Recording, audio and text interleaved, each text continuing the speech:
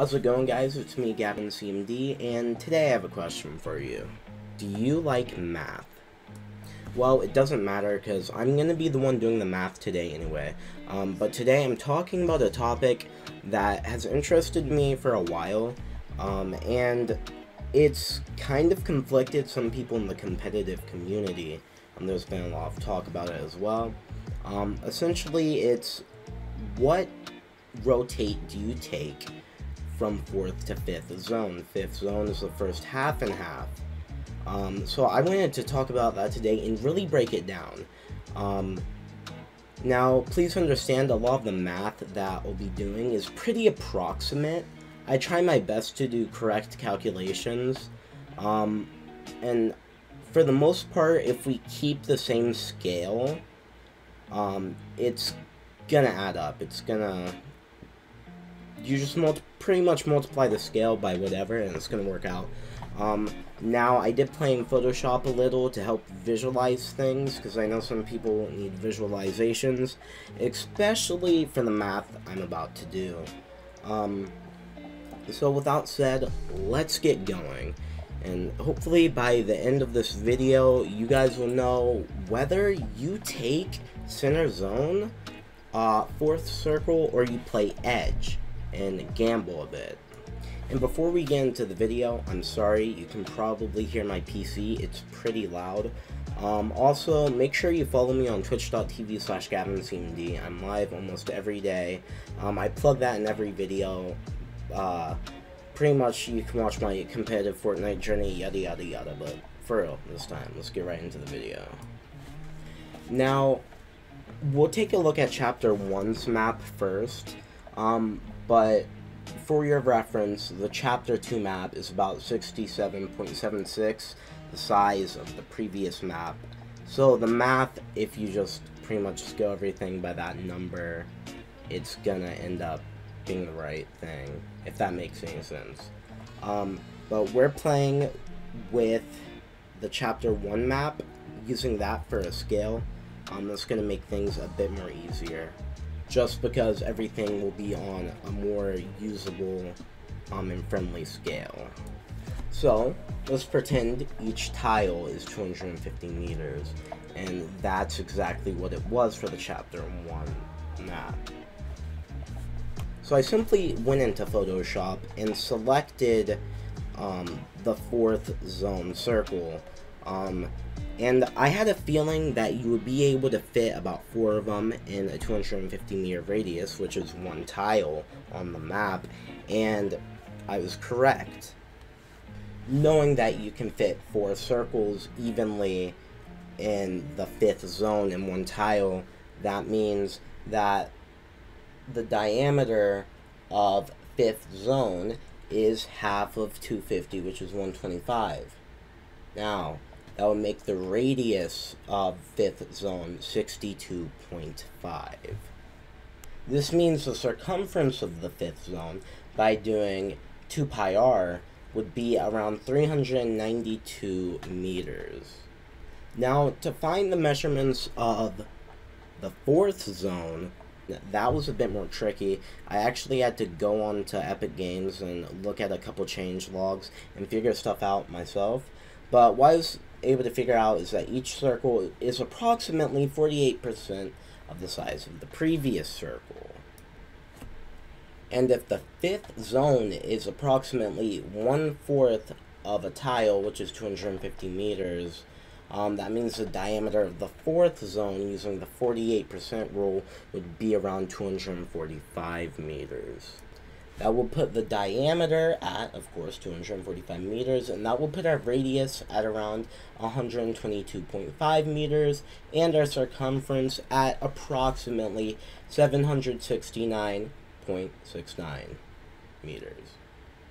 Well, that's cool and all. We know that actual approximate sizes of every single circle, but what do we actually do with that information? Well, we know that the fifth zone is obviously half and half, half in, half out. So with that said, we pretty much need to know how many of fifth zone can we fit around the circumference of fourth zone. Now, believe it or not, there actually is a relative formula for this. It would be capital R equals lowercase um, r divided by sine of pi divided by n. Where the capital R is the big circle, or, you know, fourth zone, and the lowercase r is the small circle, fifth zones, and that would be the radius. And then n is the number of small circles that are touching and are 50% in the zone, 50% out of the zone on the circumference. This means the maximum amount of small circles can be calculated by using the inverse of that formula, which would originally look like pi divided by n equals the arc sine of r divided by r. But in this case, since we don't know what n is, it's simply n equals pi divided by the arc sine times r slash r, radius slash radius. We also know that sine multiplied by pi divided by n is radius over radius, too. So with that said, let's start by finding radius over radius. With that said, you would have to do 62.5 divided by 122.5. That would get us 0 0.51020408163.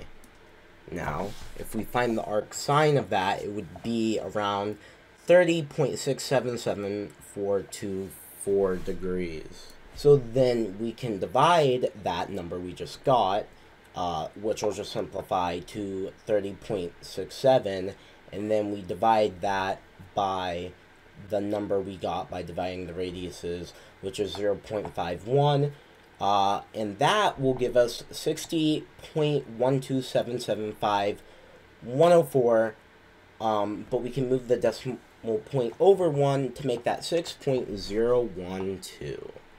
Then we would simply do pi divided by 0.12 times 62.5 divided by 122.5, or you can make it simpler by just doing pi divided by pi times 6.012. But this just gives us 6.012 anyway. I just wanted to finish the formula. So with that said, that means we can fit approximately six fifth zones around the circumference of fourth zone. And by looking at the example I had in Photoshop, you can see that that's almost exactly what we get when we just play in Photoshop and align stuff. So not only did Photoshop back us up, but, you know, we did the math. Anyway, but what does this all mean? Well, that means you have about a 16% chance of getting 5th zone by playing Edge. That doesn't seem too good, right? Then you have to remember that you have a 0% chance of getting zone if you play center. But that doesn't even matter.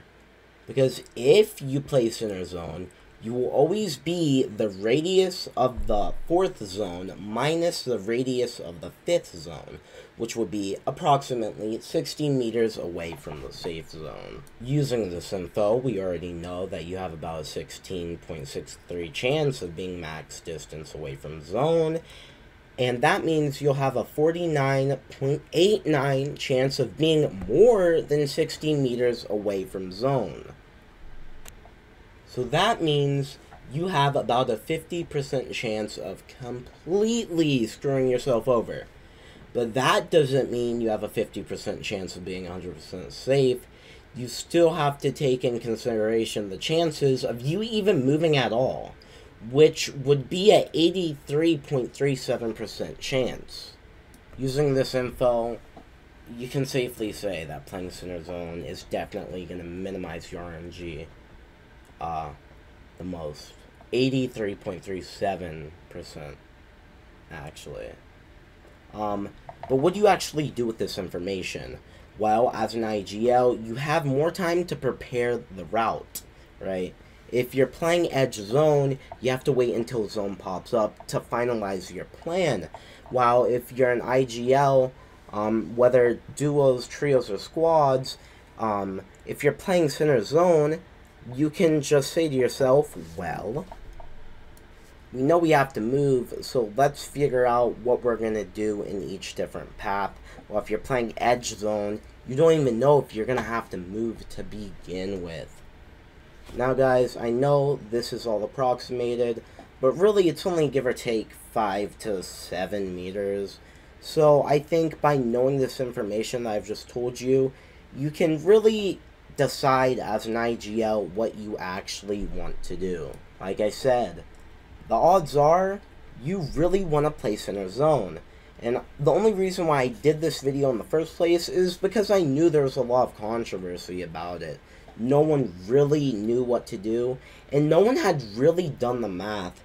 So I took the time out of my day to do the math. Um, so thank you guys for watching. Um, my name's Gavin CMD. Remember, you can follow me on twitch.tv slash GavinCMD to see my competitive growth throughout the, the past couple of months, you know? So, uh, take it easy, guys. I'm bad at outros. You, you can tell.